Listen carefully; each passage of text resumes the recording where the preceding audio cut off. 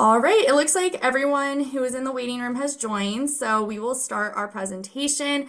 Again, thank you for joining us today. This is the virtual MS information session along with a student panel for the Masters in Mechanical Engineering here at CU Boulder. So I first like to start off with a land acknowledgement. So the University of Colorado Boulder, Colorado's flagship university, honors and recognizes the many contributions of Indigenous peoples in our state and we acknowledge that it's located on the traditional territories and ancestral homelands of the Cheyenne, Arapaho, Ute, and many other Native American nations. And their forced removal from these territories has caused devastating and lasting impacts. And while the University of Colorado Boulder can never undo or rectify the devastation wrought on Indigenous peoples, we commit to improving and enhancing engagement with Indigenous peoples and issues locally and globally this is super important to me and our program and our department, and as well as you can see, CU Boulder as a larger university entity. And I encourage all of you to think about if you do join us at CU Boulder in the Master's Mechanical Engineering program, how individually you can help um, this land acknowledgement be more of an action oriented goal and not just an acknowledgement, but actually putting um, some engineering, um, you know, approaches to this dedication to enhancing engagement and even improving that engagement with our um, Native American populations. So now we're going to move into our agenda. So we're going to first just introduce you quickly to our presenters. You'll meet them a little bit later on during the student panel. And then I want to give you more about information of the city, the mechanical engineering program, and then the University of Colorado Boulder, like we call it CU. And then we're going to get to know a little bit about you all. We're going to give you a poll just to get to know who's here um, and who's attending and where you're attending from. And then we're going to go into the application process, especially talking about this spring 2025 cycle that's ending here pretty next week for international students and a few weeks for domestic students. So we'll address that. And then we'll talk about the different tracks and potential paths that you can take in our program. Then we'll give you some important contacts if you have any further questions after this presentation. And then we'll go into the most exciting part of this presentation, I think, which is our student panel, where we'll have slated questions for some of our current students, and they'll answer those as well as we'll give you all the opportunity to ask your own questions. Um, and if you don't have any questions, that's okay. We have enough to get through the day today. So we're slated for an hour. If you need to leave early or anything, this again is being recorded and it will be uploaded to our events website. And I'll send that a little bit later um, in the chat. So just be aware that if you miss anything, you'll be able to view this later on. So these are our presenters. So again, my name is Megan Varra. I am the Senior Graduate Program Specialist in the department. Very fancy title, pretty much it just means that I am the admissions representative and I'm also the academic advisor for our master's students. So I help you through application if you're admitted, and then hopefully when you join us at CU, I become your academic advisor, which is really cool for me to see the progression of all my students um, go through that process, and I really enjoy it. We also have our graduate student ambassadors, Ryan Nelson and Hadi Hasbini. Their emails are up on this slide. Please feel free to reach out to them with any questions about the student experience. They are their job is to talk to you all about the program, give them your um, their insight about Boulder, about what the program's like, about classes, the faculty, um, even the staff like me. So please feel free to email them, and you can actually book a Zoom appointment with them. And even if you're a domestic or local student in Boulder, you can actually take a tour with them, which is really great. And then we also have our Mechanical Engineering MS Graduate Committee representative. Very long title again, but what that means is Carlotta Serrano sits on our graduate committee that's comprised of our faculty, staff like me, and then we do have student representatives who give us their insight about student issues, student policies that are affecting them, and then they can bring it to our committee that makes change for that. It makes um, policies and even award scholarships and many other things. So Carlotta is also here with us today. And again, they'll introduce themselves when we start the student panel, so you get to know them really well throughout this presentation. So then we're going to introduce you to hopefully your new home, which would be Boulder, Colorado. We are a population about 115,000, so it's a very college town. Everything really revolves around the college, and it's really nice to have that community aspect here. We do have 300 days of sunshine, so I know a lot of people think of Colorado as a snowy state, and it does snow, but honestly, it usually melts off by noon, and you get to go outside and go on hikes. I have here climbing, skiing, snowboarding. Um, so there's a lot of really great opportunities because you get the winter sports and the winter experience, but then later in the day, it's back to 50 degrees and really warm, which is one of my favorite parts about the state and just the city of Boulder in general. And then we are also ranked number 10 in the best places to live in the United States, so top 10 in the entire nation. There's two other um, cities in Colorado, just in general as well. So you can tell that it's a really just great place to come and then also to stay after graduation. We are also top 10 in the most future ready cities globally, so top 10 in the entire world. And pretty much what this means is Thought Lab Group did a qualitative and quantitative study to examine the impact of technology on companies, cities, industries, and business performance. So, really, the um, takeaway from this is that our city of Boulder means that there's a lot of tech opportunities. There's a lot of companies coming to Boulder to develop that technology, develop the city to be more modern and most future ready. We're also a 30 minute drive to Denver, which is our capital city in Colorado. So, a lot of students over the weekends will get out of Boulder, they'll take the bus that's free to students all the way down to Denver, which is only 30 minutes, like I said, and get a whole new experience, which is super nice.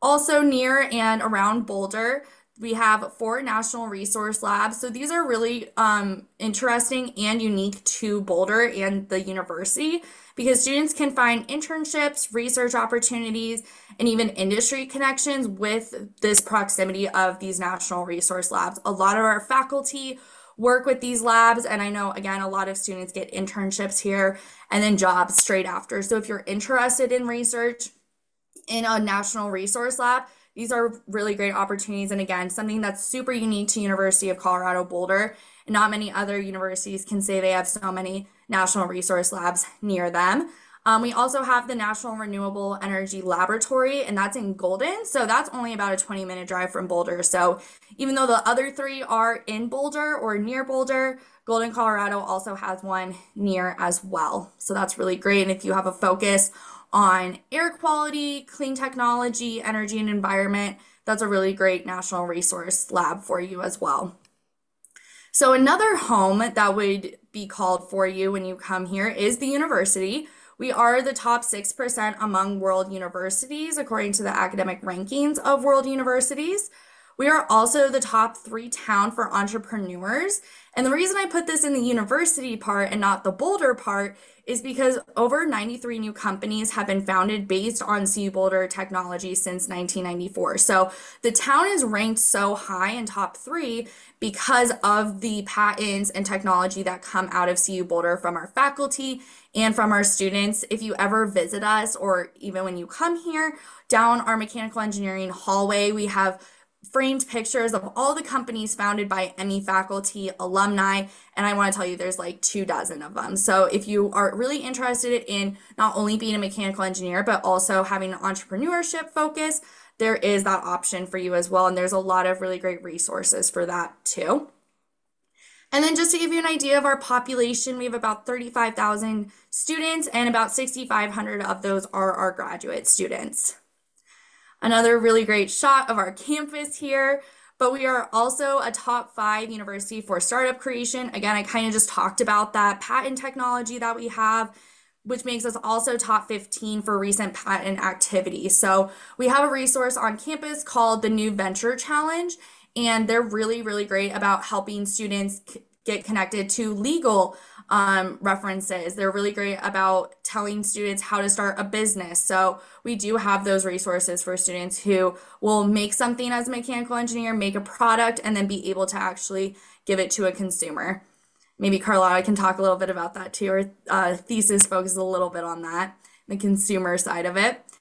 So the last um, part about the university here, and it's a very beautiful snow picture here. We have a five Nobel Prize winners, and we also have five National Medal of Science winners. And you can actually go and see those. They're in a museum on campus, which is really great. We are also the top 50 university in National Science Foundation research. If you don't know anything about that, pretty much that's where our grants come from. So all of our faculty will apply for NSF um, research funds. And then what that does is allow our students to also be involved in research, get paid for being a lab assistant, anything like that. And then we're also the number one public university recipient of NASA research awards.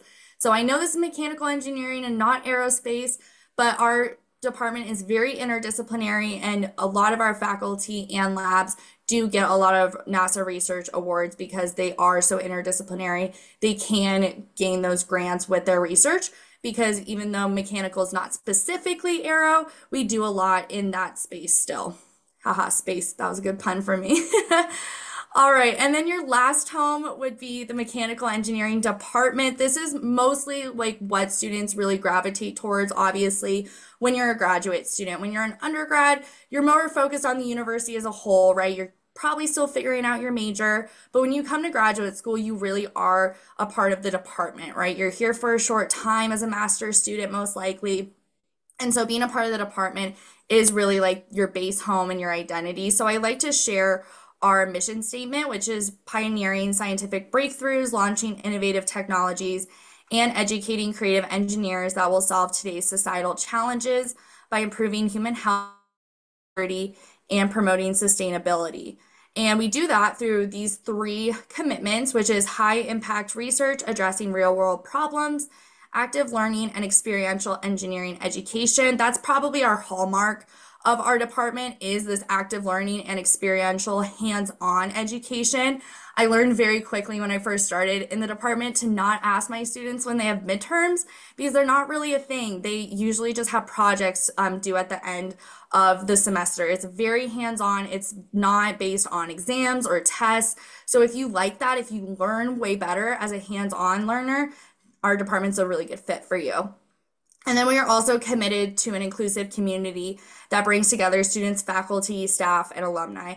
I've been a part of a lot of universities, a lot of departments, a lot of colleges, and I will say our community building is really, really great in this department. And um, I can ask Carlotta and our other presenters about that too during our student panel, just to give you a better idea of what it looks like for the student as a community. And then just to give you um, an overview of like the size of our department. So we have about 65 faculty members that's growing every single year, about 140 PhD students and about 170 MS students. So that's the cohort you would be joining. If you're wondering about the spring or the fall cohort, you're usually looking at about a cohort of 15 to 20 if you're in the spring. And then if you're in the fall, we're looking at about 50 to 60. Um, we're growing it every year. So you'll be a part of a really um, good size cohort where you have enough resources, enough opportunities to network, but not too big that you're just a number, which is really, really great. We also have some really great labs and facilities in our department and just on campus. That's the perk also of being a of being a part of a really large university is there's a lot of resources. So some labs and facilities that our students can use really well and like very frequently is the Integrated Teaching and Learning Lab and the Idea Forge. So they all have maker spaces, they have machine shops, manufacturing, prototyping. And again, if you take a tour with Brian or Hadi, they can show you these. But we also have a virtual tour on our website um, to view these labs and facilities, which is really nice. You can just look at them online if you're really curious about what students can do. And a lot of students will um, you know take classes using these maker spaces and everything like that. So now i'm going to move on to getting to know you all. So i'm going to start a poll and it's just very simple three questions. So it's where are you attending this session from today? What area is your undergraduate degree in? And what is your current student status? So if you all could answer that really quickly it should be on your zoom. Yep there we go. People are getting in. So somewhere else in the US, majority outside of the US. Most of us are mechanical engineers. There is one other, shout out to you. I am not a mechanical engineer, so I'm with you here. Yeah, lots of mechanical engineers. Okay, we have a really good split of what your current student status is. We have some undergraduates, a lot of students who aren't even students, they're just employed in industry, and some others probably in that in between um, category. So that's awesome. Okay, we got another another Department of Engineering. No one's joining us from Colorado. All right. Awesome. Thank you so much. I think everyone's participated. This just gives me a really great idea of what I should talk about, how I should cater. Um, this presentation also gives our student presenters a little bit of an idea of what they're um, what they can talk about and address to you all. So that's really awesome. I'm going to share the results to all of you really quick. There you go. You can see all of the um, split here. No one's enrolled as a graduate student somewhere else, which is great news. We're all looking at CU Boulder. And yeah, it looks like me and the presenters are the only ones from Colorado. all right. Thank you so much for participating in that. So now we're going to get into probably majority of what you're all interested in, which is like the admissions process and just about the application. So I like to be upfront first and foremost about our funding as a master's student. You are expected to secure your own financial support.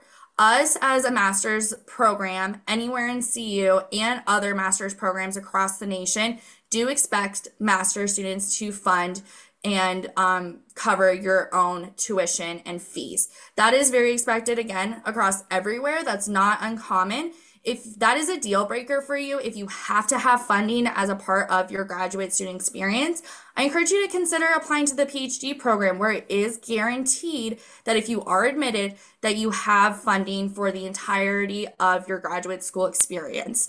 Unfortunately, that's just not um, reality for the master's program. We're only here for two years. We can't, um, you know, give everyone a TA or an RA position to fund your um, studies. So, masters, you are expected to secure your own financial support. There are ways to supplement that, though. We have scholarship opportunities in the department.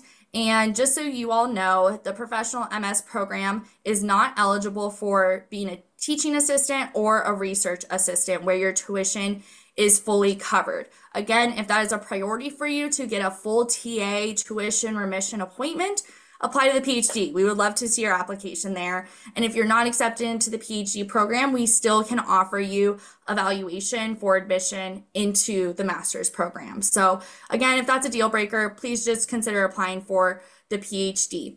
Um, yes, Jack, correct. Thesis-based masters are eligible for TA RA appointments. They are just very rare. Um, that's something that Carlotta can definitely speak to um, during the student panel. But yes, they are eligible. It's just rare because those opportunities are prioritized for our PhD students. So again, if that's a deal breaker, apply to the PhD is my usual suggestion. There's also the Office of Financial Aid for Loans and Federal Student Aid. So if you're a domestic student, you can still apply for FAFSA, you can still apply for federal Pell Grants. And then on our website, there's a tuition and fee rate sheet link. So it gives you the actual idea of how much it costs to attend CU Boulder as a master's student.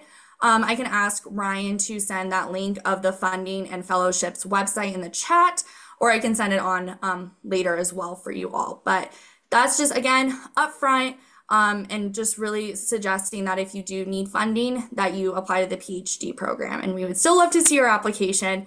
And again, you're still eligible to even be evaluated for the master's program. All right. So our deadlines are coming up really soon for the spring 2025 cycle. So these are for the attendees that want to join us in January and start their studies in January. That is spring 2025. If you are an international applicant, your deadline is next Tuesday, October 1st at 10 p.m. Mountain Standard Time. Please make sure you're adhering to those times. That is really, really important um, because a lot of our students are international, especially that deadline. You are adhering to our time zone. So please just be aware of that. And then if you're a domestic US student or permanent resident, your deadline is October 15th at the same time as well. If you're applying for the fall cycle, your um, deadline is the same for both domestic and international students. That's February 1st. So you still have a while. Um, but yeah, I want to focus on the spring applicants and really, again, remind you that you need um, to submit your application by those deadlines. Thank you, Ryan, for sending the funding and fellowships link in the chat. Please look at that if you have any questions about funding. Most of it's explained in there. All right. So if you're in this pool, of, you know, obviously applying, you either haven't applied or you have applied. So if you haven't applied, these are the materials that you need to have ready to go and submitted by that deadline. So the first thing is the application that is through our graduate school admissions website. We also have an application fee, $60 for domestic students, $80 for international students. If you are a domestic student, you do have options for fee waivers. But if you are an international student, there are limited fee waivers for international students for the master's program. Because again, if you're an international student, we expect you to fund your entire master's studies. So if you can't pay the application fee, we assume that you cannot pay for your master's degree. So again, if you're an international student and you cannot afford to fund your graduate school um, and your tuition, apply for the PhD. And then again, we can um, look at you for the master's degree program if you are not admitted into the PhD. You also need a CV and a resume, um, and or you only have to upload one, so it's up to you, whichever one you choose to use or to submit. We also have a personal statement, so just you telling us why you want to come to CU Boulder. We also have an optional diversity statement. If you are interested in um, getting scholarships at time of admission, we definitely encourage you to submit a diversity statement. That information is in the application. So if you have any questions about that, it's on our website, but it's also in the application itself about what the diversity statement means, what it's asking for, and what you can share to be considered for an automatic scholarship at time of admission. We also need unofficial transcripts. You do not have to submit um, official transcripts unless you are admitted. We need two recommendation letters minimum. You can upload up to four, but it is not required. You only need two. And then if you're an international applicant, you do um, want to look at the English proficiency score el eligibility and see if you do need um, English proficiency scores. If you have applied, great. Just keep checking your email, look into housing, Boulder area, activities, and then definitely meet with me. Or I really encourage the um, ambassadors so that you can just talk to them, get to know the program. Because if you're admitted, we want you to choose us and to be confident in that choice. So talk to the students who come here who have chosen CU Boulder, and then also obviously listen to the panel. We'll talk about that a little bit. Um, but I also want to mention if you have any questions about the application process, these materials. We had a great session about two weeks ago called Creating a Strong MS Application, and that's recorded on our website. Um, I'll probably ask Ryan to send that link in the chat as well, just our events website. And you can watch that recording, it's about an hour long as well.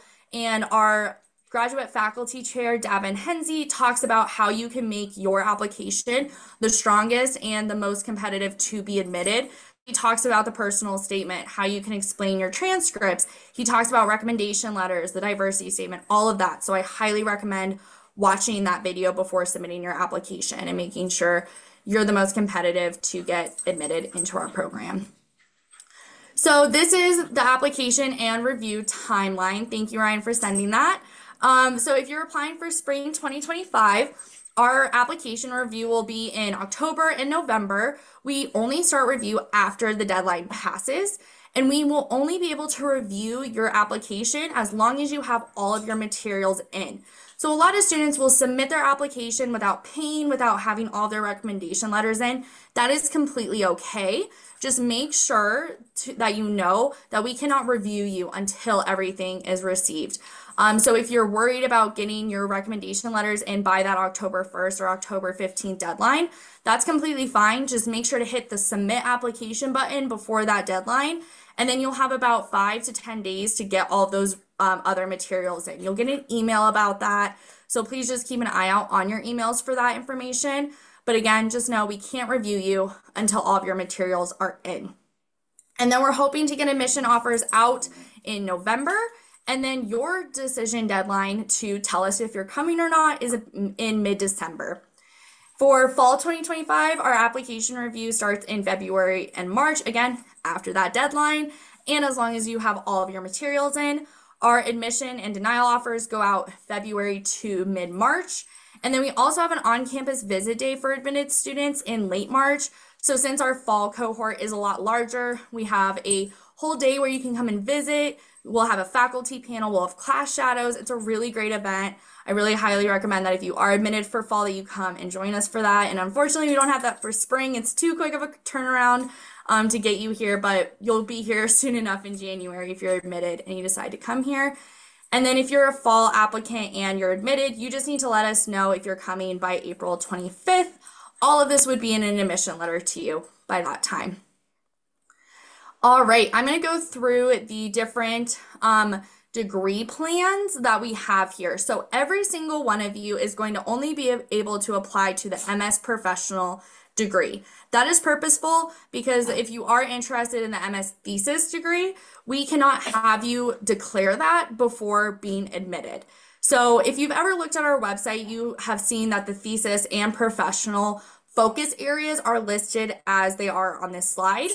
Just so you know, you can be a robotics and control professional degree focus area. So that means that if you're admitted as a MS professional, you can still focus your degree on the robotics and control focus area.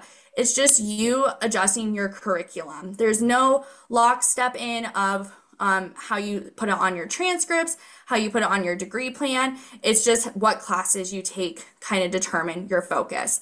Most of our students end up just being a flex student. They take, they come in wanting to be a biomedical focus area and then they really like the design and materials aspect of it. So a lot of our students just end up falling into a flex and really broadening their interests and experiences. If you are interested in the MS thesis program, you first have to get an admission offer. That is the first step. You apply as a professional, and if you are admitted, then you can try and start finding a faculty advisor. I'll let Carlotta talk a little bit more about that in the student panel, but just know you cannot be directly admitted into the thesis program. If you are filling out your application, you do have the opportunity to also put your application in the um, review for the dual degree with engineering management program. So that is a master's of engineering in engineering management. And that program is intended for students who want a strong education, both like the technical and fundamental topics of mechanical engineering, but then also having some soft skills or some, you know, actual um, skills that transfer to being a manager, to being a project engineer, and really becoming a leader in the industry as a manager. So if you're interested in that, please check that box on your application. If you do and you're admitted, you can completely decide that you don't want to do it. It's not, you know, locked in that you have to. It's just putting you in that pool to be considered for admission into the dual degree program. So I'm going to kind of go over what that um, degree plan looks like for all of these different pathways. So if you are an MS thesis student, you have to complete 30 credit hours, which is about 10 classes. Most of our students finish their degree in about two years or four semesters.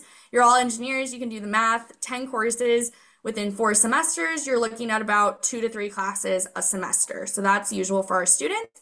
As a thesis student, you have four required classes um, and a minimum of 18 out of these 30 have to be in mechanical engineering. One of my favorite parts of this department, though, in our program is that up to 12 credits or about four classes out of your 10 classes can be taken outside of mechanical engineering. I have a student right now taking an acting class, I have a student taking a dance class, and then I have a lot of students taking aerospace, computer science, um, engineering management, or even um, material science robotics classes. So it's a really great opportunity and something that I don't see at a lot of other master's mechanical engineering programs is they're pretty locked in. Um, you have to take a lot of certain classes. It's very much like undergrad where you don't have a lot of flexibility. So in our program, we really want you to get the money that you're paying worth and make sure that you can take the classes that you want.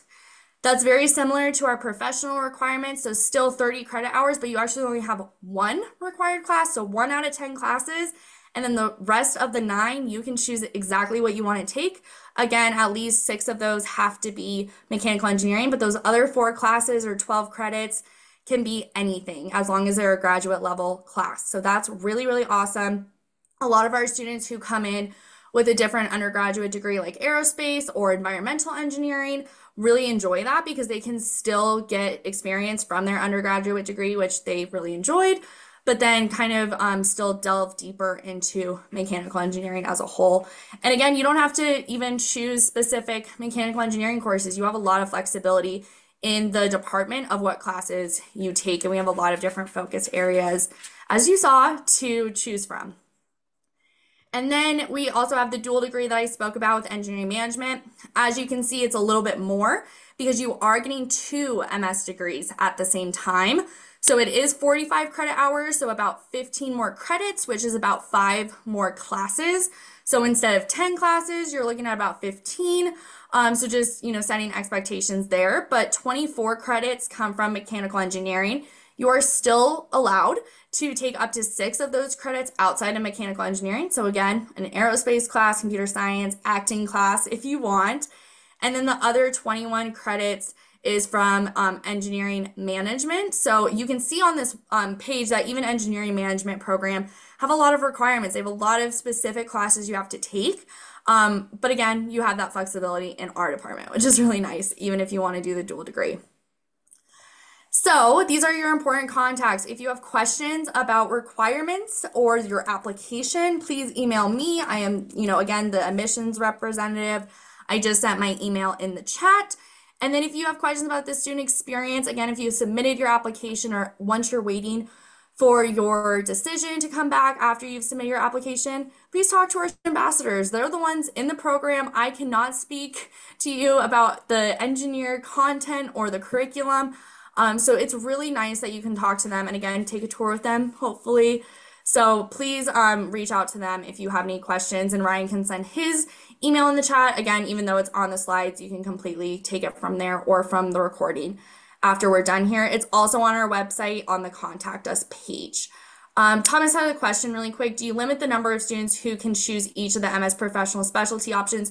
No, we don't have a quota or anything like that you really just um, in your application you do or you can choose a focus area but that's not locked in so if you put on your application that you're a biomedical option or focus area you are not kept to that you can just come to me and say hey i'm going to take robotics classes actually. And i'm going to say great. Are you meeting those 30 credit minimums? And you'll just take those certain classes. So there's not a limit. Um, it's more of the limit of like class sizes mostly than anything. All right, we got a really great question um, in the chat for the student panel, which is exactly what we're going to move on to. Um, so I'm going to stop sharing and then I'm going to highlight and spotlight our two um, student panelists. I'm going to ask them to turn their camera on. All right, here we go. Let me spotlight you two. Okay, spotlight Ryan. Where's Carlotta? There you are. Hello. All righty. so we're gonna start our student panel portion. Again, um, we have slated questions, so I'm gonna ask them a few questions. We have one really great one in the chat that is also on our slated questions. Um, but first, I'm gonna ask them to introduce themselves. So Ryan, can you introduce yourself really quick?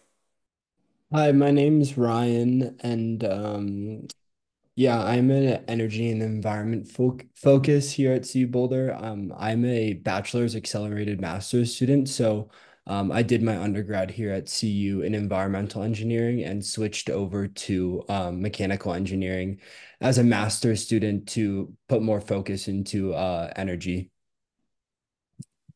Great. Thank you. Go ahead, Carlotta.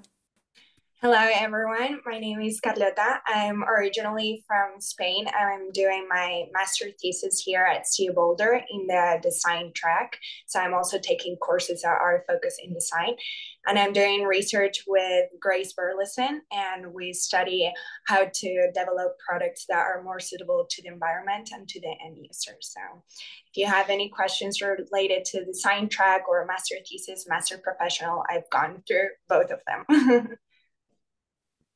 Yes, she. We have a really good diversity here. Bachelor student who decided to stay, and then this international student who came, and then you know switched to the thesis program. So a lot of really great experience here. So we're just going to start off with the first question. Um, Carlotta can really speak to this one, but what was your experience with the application process? Do you have any tips? Um, there's also one in the Q&A asking about if there's a need to contact professors for um, assistantships or anything like that. So if you could talk about that too.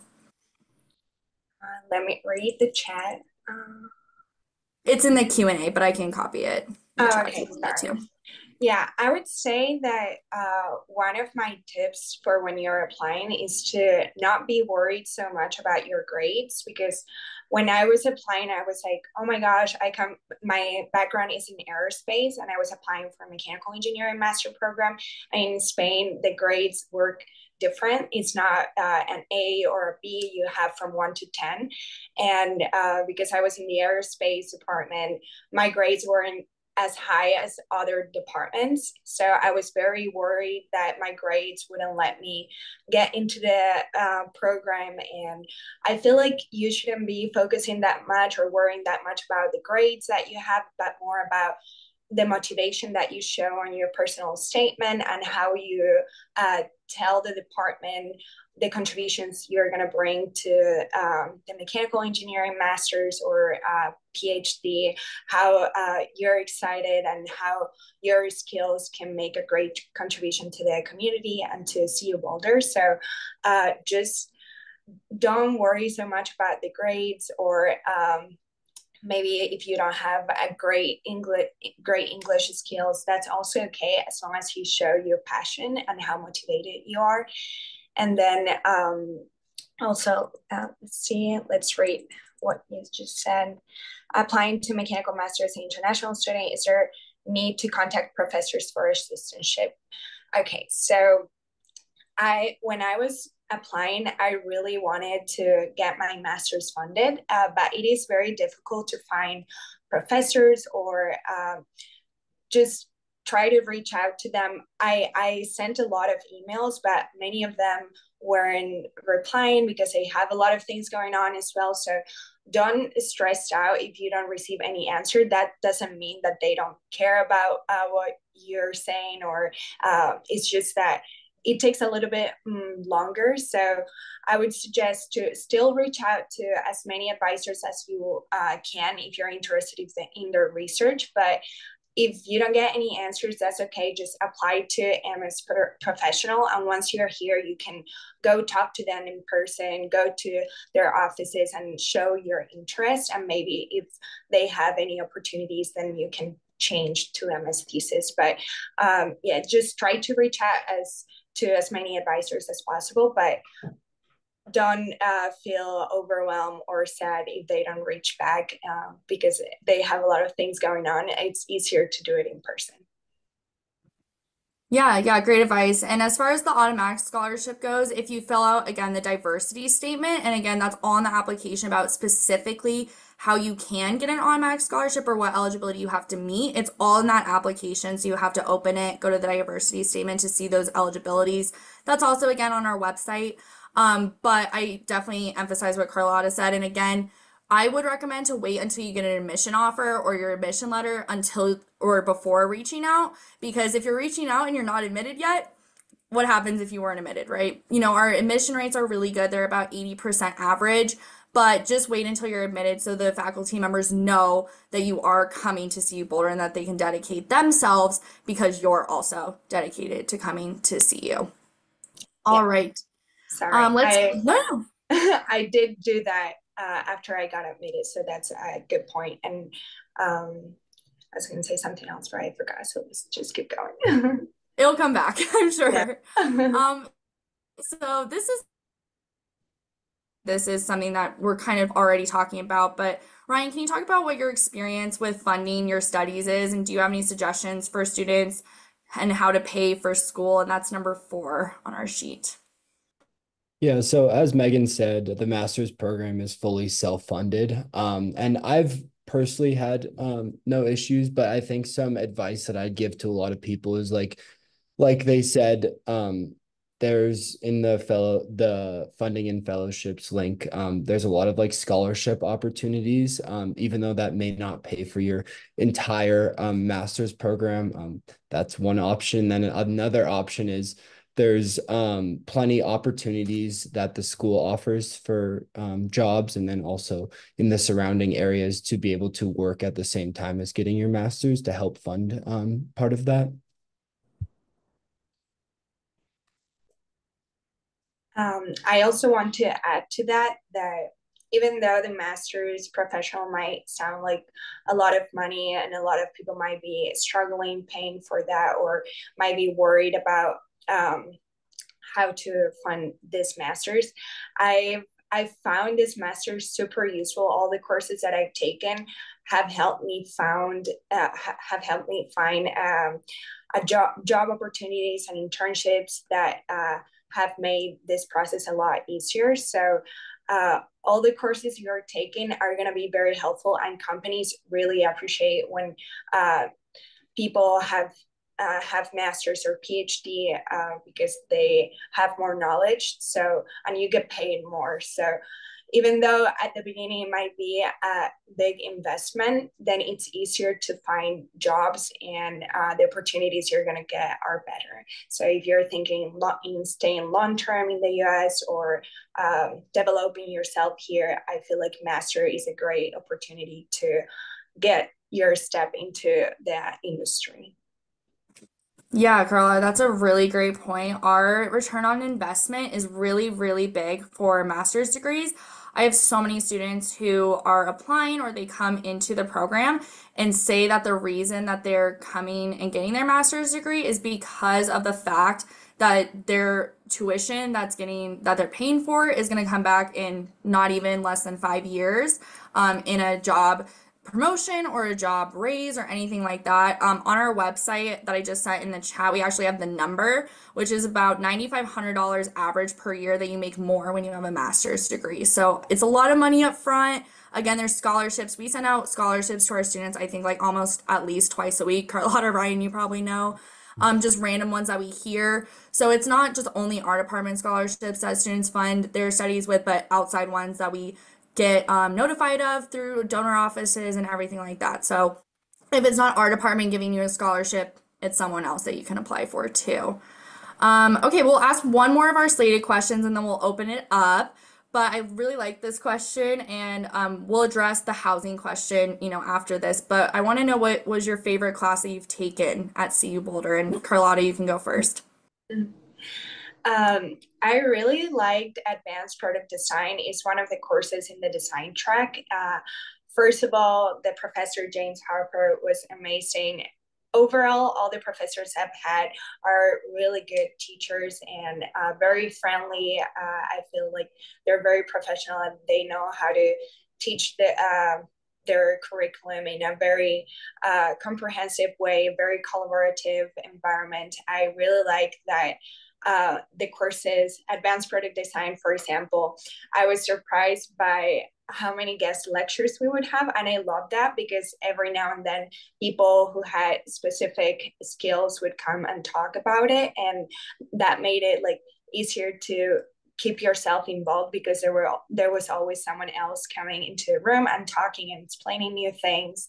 And then also advanced product design basically is a course that helps you understand all the entire design process from um, brainstorming and ideation to prototyping and iteration of your product. And you go through through your users and you test your prototype and you have as megan said all these different um, resources from the university where you can have like the welding uh, workshop, the um, the 3D printers. Uh, there are many resources that the university gives you so that you can develop your prototypes. And I thought it was a really cool class because you have you can be very creative, you can be very innovative, and you always work with people, which is how you work in an in an industry environment. You will always have to be working and collaborating with uh, your team. So this really helped me uh, increase those soft skills and also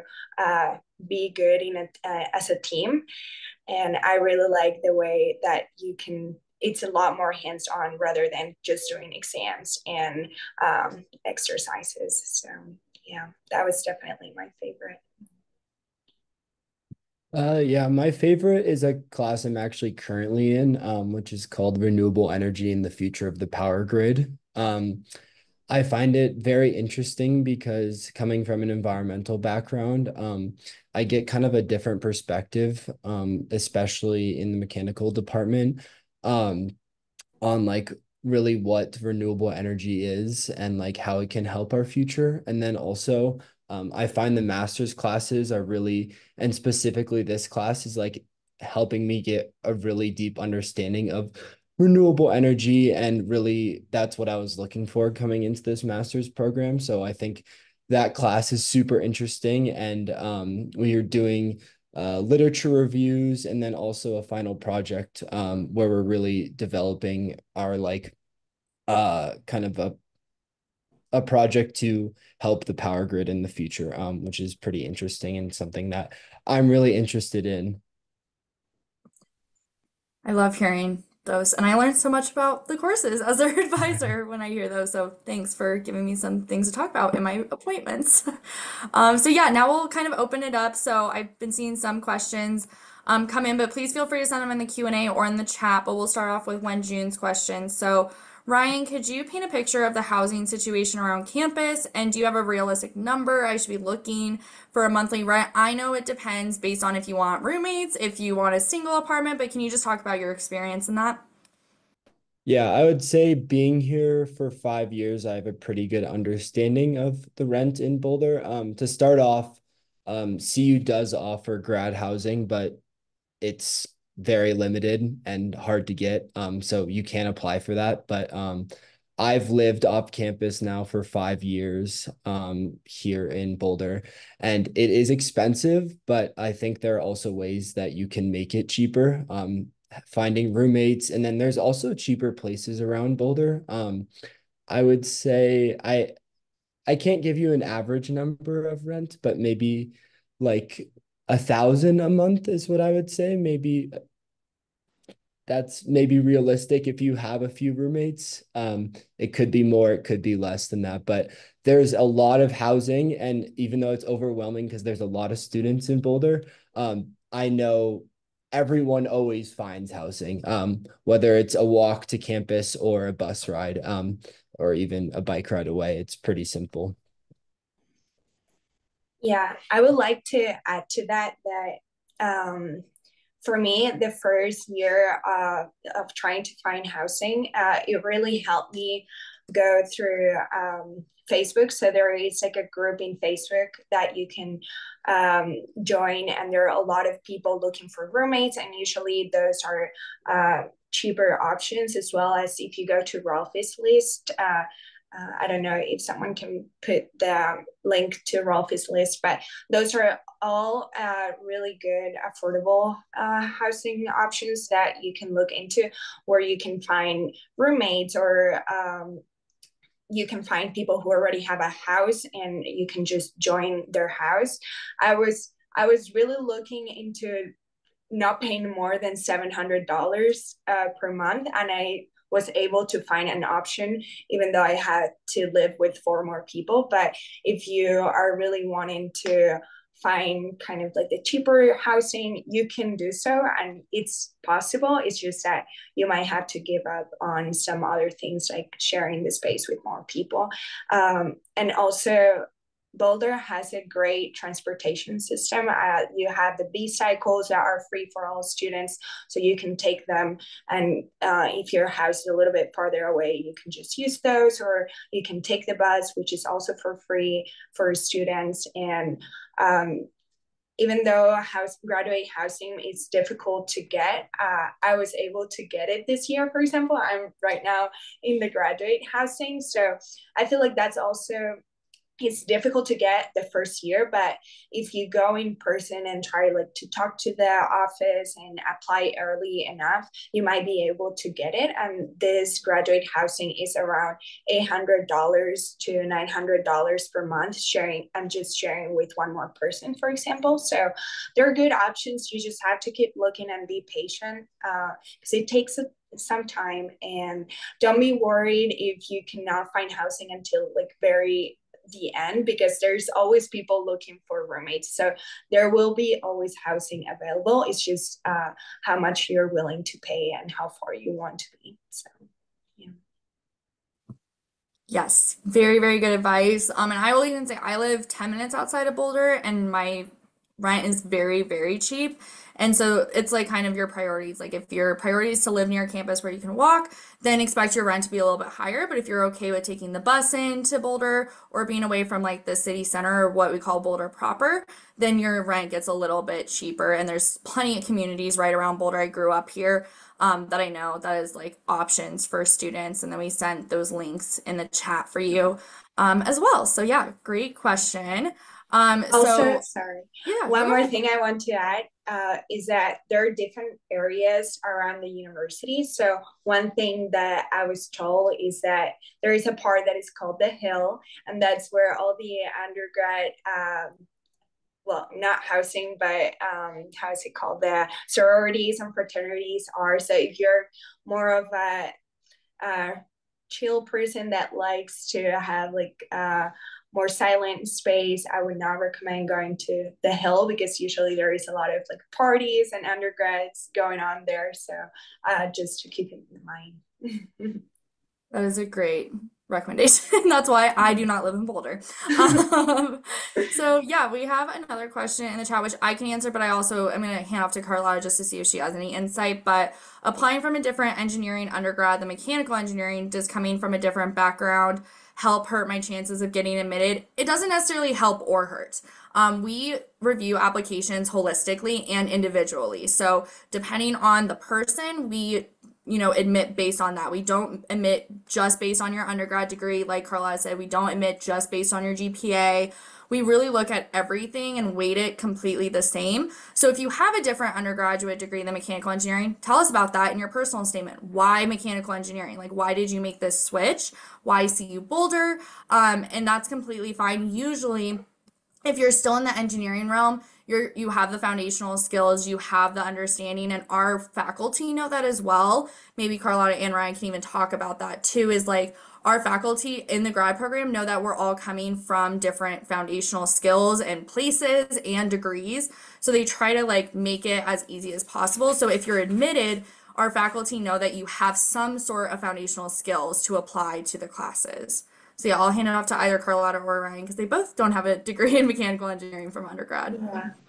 I would say that's very common, honestly. Not everyone comes to a, a mechanical engineering undergrad, and it's totally fine um, as long as you like show your motivation again, say the reasons why you've changed, why you want to pursue to pursue uh, the master's in mechanical engineering, and what things you can bring to the uh, to the CU Boulder community. Um, I also uh, think that um, I was going to say something I forgot. Um,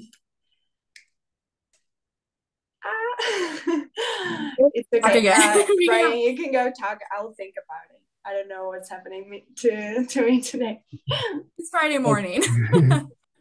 yeah, no worries. Yeah, I would say the same thing uh, as Carlotta just said. Um, a lot of students I know in all, pretty much all my classes are not.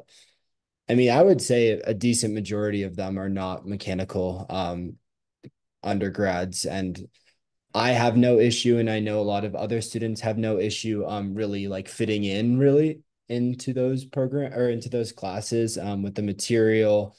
Um, you know, some people may have to do a little bit of extra work. Um, for example, I didn't come from as much of like a, a coding background undergrad. And even though mechanical is not super like coding heavy, um, there is more coding in mechanical engineering than environmental engineering. Um, just certain things that I had to like adapt and still learning on, um, which is one of the reasons why I wanted to do mechanical engineering and build my skills.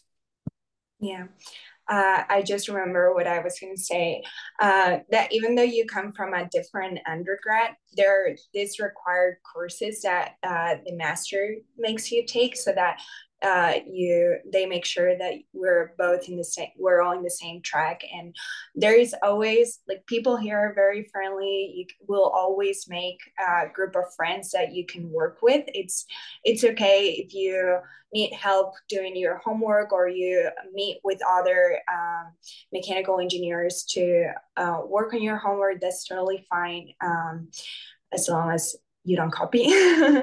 But um, yeah there is always a lot of collaboration and the mm, the, the mechanical engineering department has a lot of study room areas where you can gather all together and just help each other out and there are always a lot of office hours so the professors are always very helpful in case you have any questions as well so i would say to not worry if you come from any other background because they will make things easy for you if you have any um, struggles Yeah. And again, if you're admitted, we're confident in you and your abilities. Like you won't get admitted if we don't believe that you can be successful in our program.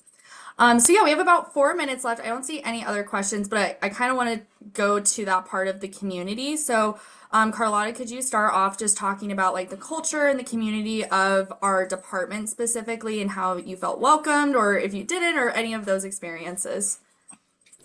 Yeah, so I'm an international student. Uh, so I really, when I came here, I was like, I don't want to meet any Spanish people. I just want to like get involved with all these other different cultures. There is a lot of international people as well here. So um, I just feel like the mechanical engineering community uh, was really welcoming. They put a lot of effort into having all these events so that we get to know each other and we have some time to chat uh, apart from like going to classes and getting to know each other in class. But you also have some social activities. We have some bowling events where you uh, go and play bowling and it's always very fun a lot of free food. So it's always a really fun time and i've always felt that I'm a person that asks so many questions because I always have so many doubts. So, uh, Megan, she's been great at answering all of those questions. And if you ever feel like uh, you don't understand something well about the program or about uh, the application process, feel free to reach out to any of us because we will always um, welcome you and try to help you as much as possible.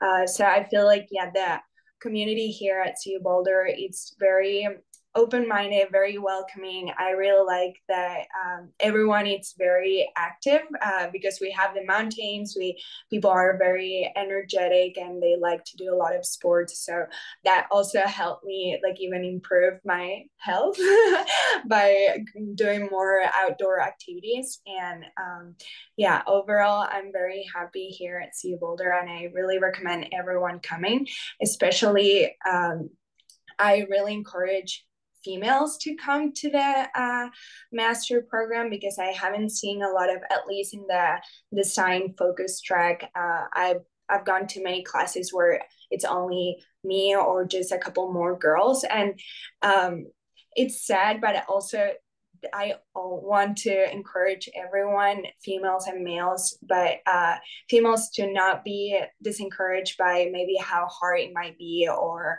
um, this gender inequality. I i really i've been treated super well and i love working uh, with all my teammates but i really would love to see more girls in the master program because it's always very fun and um, yeah i every i always encourage everyone to all the girls to do engineering so yeah.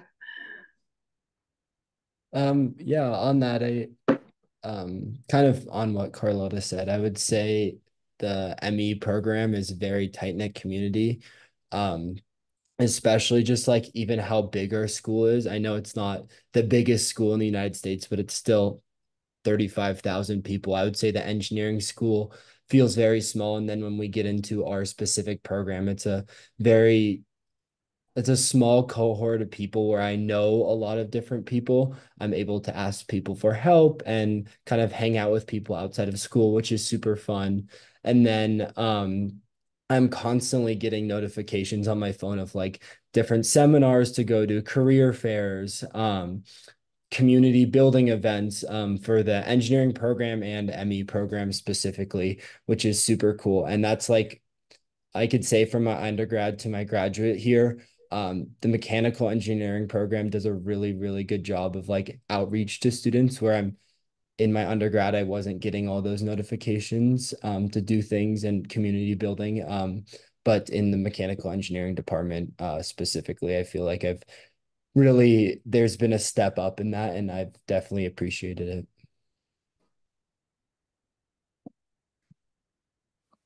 All right, great. Thank you guys so much. Um, it is 10 a.m., so I want to be respectful of everyone's time here.